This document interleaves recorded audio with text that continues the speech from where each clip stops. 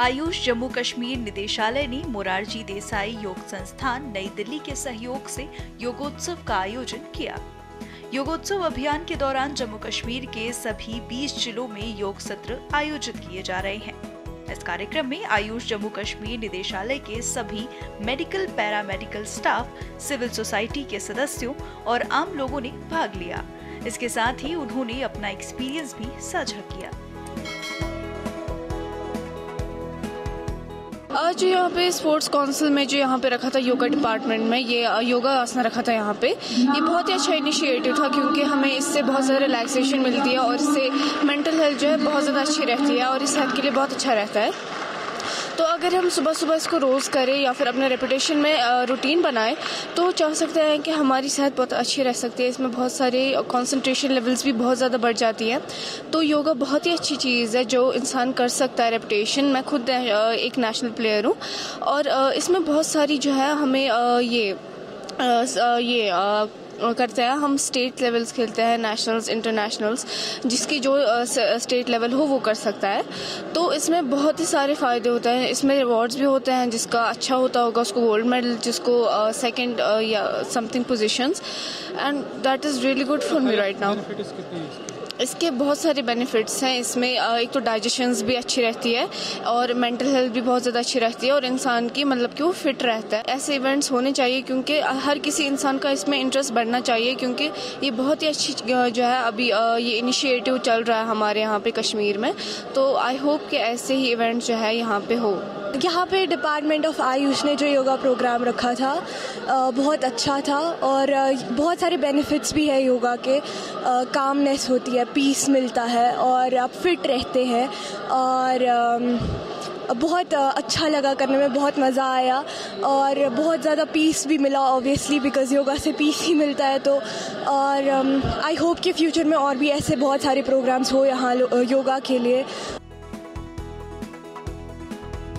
Yoga instructor और government health and medical education department के secretary Bhupinder Kumar ने भी इस पर बात की। जानी उन्होंने क्या कहा। यहाँ पर एक प्रोग्राम था योग महोत्सव। जो आने वाला योगा डे है, ट्वेंटी फ़र्स्ट जून, उससे आगे हंड्रेड डेज़ से हम स्टार्ट करते हैं, हंड्रेड डेज़ काउंट डाउन और उसके लिए हमने यहाँ पर ये प्रोग्राम कंडक्ट किया है, और यहाँ पर हमने कॉमन योगा प्रोटोकॉल यहाँ पर कंडक्ट कराया। यहाँ पर बहुत सारे डिस्ट्रिक्ट्स के मेडिकल ऑफिसर्स भी थे, और योगा इंस्ट्रक्टर्स भी योगा इंस्ट्रक्टर्स थे, और सपोर्ट्स काउंसिल के भी हमें यहाँ पर बहुत सारे पार्टिसिपेंट्स थे। क्या क्या हाँ आज हमने करवाया इनको लूजनिंग एक्सरसाइज कराई और कुछ आसनास भी कराए जो डिप्रेशन के लिए जो ठीक रहता है और जिसमें माइंड हमें थोड़ा रिलैक्स होता है क्योंकि आजकल का जो माहौल है, थोड़ा सा माइंड स्ट्रेस रहता है तो उसके लिए हमने सुबह सा एक सेशन यहाँ पर कराया। तो कितना अच्छा रहता है? योग एक ऐसा चीज़ है जो हम जो चीज़ दवाई से ठीक नहीं होती है वो योग से ठीक होती है और ये चीज़ हमें समझना चाहिए क्योंकि योग एक ऐसा इंटरवेंशन है जिसको हम नॉन कम्युनिकेबल डिज़ीज़ जिसको हम कहते हैं उन चीज़ों से हम मुक्त मुक्त पा सकते हैं योगा से। आज एक योग सेशन ऑर्गेनाइज किया गया है डायरेक्टरेट ऑफ़ आयुष और Morarji Desai national institute of yoga के कोलैबोरेशन के साथ स्पोर्ट्स काउंसिल के कोलैबोरेशन के साथ पोलो व्यू में जो हमारा इंडोर स्टेडियम श्रीनगर में है, वहाँ पे। और हमने ये जो इवेंट ऑर्गेनाइज किया है it is basically in for it is आपको जैसे मालूम होगा कि इंटरनेशनल डे ऑफ़ योगा आ रहा है।